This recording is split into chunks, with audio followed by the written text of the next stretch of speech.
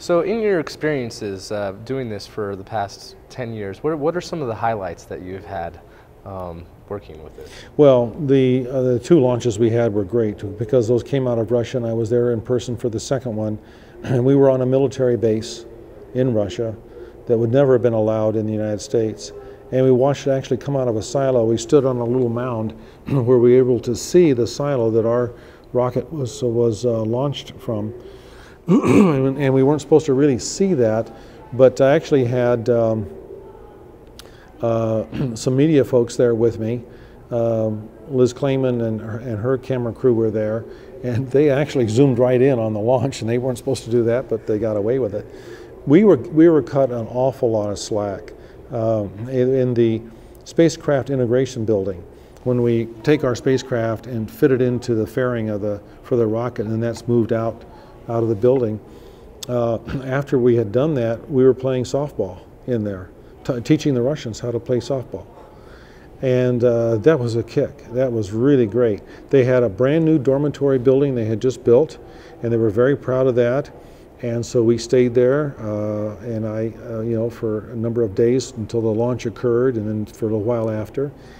And uh, so it was it was very humbling and very exciting and humbling because we were we were uh, welcomed and treated so well by the Russians, and uh, also because of the the uh, there was a small community of maybe 30 some thousand folks adjacent to the base, and we went to visit that small community, and they were extremely poor, very poor. The basic industry was uh, mining vermiculite and vermiculite is put into asbestos. And that's what the town was living off of as a basic industry. And um, so uh, it was, that was a fabulous experience all the way around. And then we have our own mission control facility in Las Vegas at our plant. And so for the first launch, I was there and watching everybody and cheering along with everybody else. Uh, first, you hope that the rocket succeeds in its launch, and then you hope that your spacecraft deploys and succeeds like, like you think it might. And I thought in both cases that I was prepared for a complete failure. Just psychologically, I thought, well, okay, they're both going to probably auger in, and we're going to have to do it again and again and again. But we had two back to back successes. And then the data that we got back from the spacecraft was uh, tremendous, it was terrific. And we designed, we had a design life of six months uh, for all of our avionics systems on the spacecraft. And they eventually failed uh, and decayed slowly from radiation and so forth because we didn't invest a lot of money in those particular systems. But we got over two and a half years of perfect data instead of six months. And so, in, in six months, we knew we all, all that we had to know anyway. So it just kept piling on, piling on tremendous amount of data that kept verifying itself over and over and over. So. Now, uh, do you know how long uh, uh, both the Genesis spacecraft are going to be on orbit for? From the time that we launched them, the estimates were 12 years, and then they will automatically orbit, orbitally decay and burn up as they come back in. Now, are either one of those spacecraft equipped with hatches in case a salvage company in the future were to go and collect them? Well, a future salvage company would probably have uh, some sort of large airlock that they would bring a satellite or spacecraft into to capture it. So you would capture the entire spacecraft in its entirety. The Olympus that you referred to earlier, the 2100 meter, has such an airlock. That's true. You could have an Olympus with. Uh, it will carry an entire spacecraft. Wow. Um, I also wanted to ask about uh, uh, internationally some of the other nations that have expressed interest in mm -hmm. purchasing the BA-33 yep. modules, especially Japan. Yes. They were talking about wanting to connect a module to their to the Kibo laboratory. Well, Japan uh, has been very aggressive. Uh, Dubai has, UAE has. Uh, we've we've gotten very positive signals from Sweden and Singapore, uh, and from several other countries. Um, but I think right now, this, this uh, really great recession, as they call it, is, uh, is affecting everybody. And so they're sitting on the sidelines and have told us, we need to get past this recession. We've, we've, we have been cutting and reducing our expenses across the board in everything that we're doing as a nation. And uh, we haven't lost our space appetite at all. It's just that it's time to be a little prudent. And we say, yeah, we understand that. And um, we say, as a matter of fact, uh, it looks like the taxi service is, has slowed up and isn't going to be arriving on time either.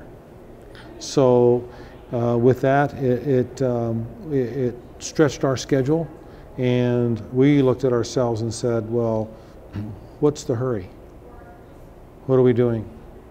So uh, we cut uh, our staff by half, a little more than half, and we're still very busy, uh, but it extended our overall dates on when we're going to complete the spacecraft because we don't have the army of folks that we did have. Now, how far along in construction is uh, the expansion at uh, the Las Vegas facility that um, was announced earlier this year? Yeah, that's about 180,000 square feet under roof, and um, we are about 85% complete.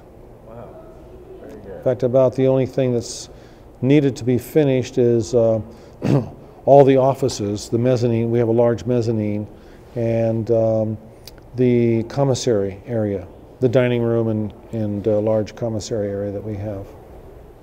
So, do you guys have any um, uh, space-ready hardware built yet? For full scale 330, we do. We have, um, we talked earlier about the Sundancer. Um, we had contracted for all the propulsion systems for two Sundancers. Those can fairly easily be adapted to the 330. So we have complete propulsion systems north and south for two 330s. Well, um, uh, I'd like you to just take a moment and uh, think about is if there's anything else that you would like to add. We're in this for the long haul. We're committed.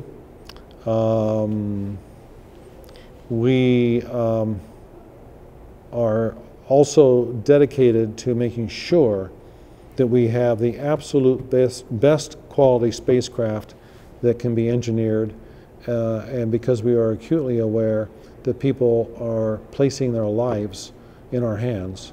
And uh, we're very confident that once they get to orbit into our facilities, uh, they're going to be well and they're going to be safe.